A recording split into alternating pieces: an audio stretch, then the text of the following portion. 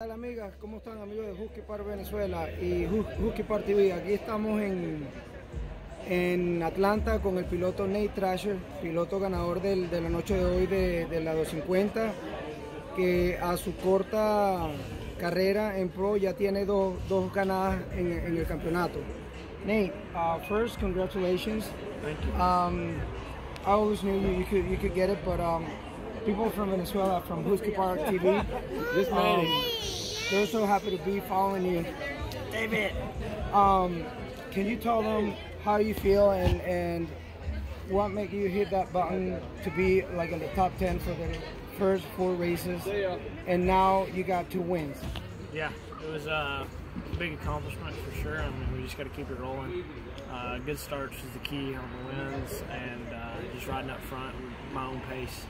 Uh, kind of got stuck in some pace in uh, the back, so got to be up front and uh, just got to get good laps to hold main and uh, just not cave under the pressure. Um, there's a lot of pressure up there.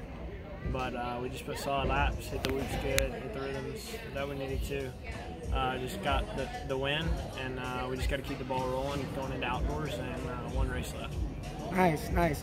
Now, um, what can you say hi to the people in Venezuela with Husky Park TV?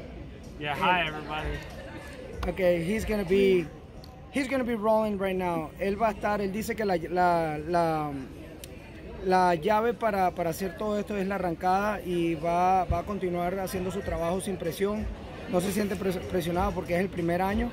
Y bueno, vamos a estar viendo mucho más de Nate Thrasher en, en las próximas carreras en los main events.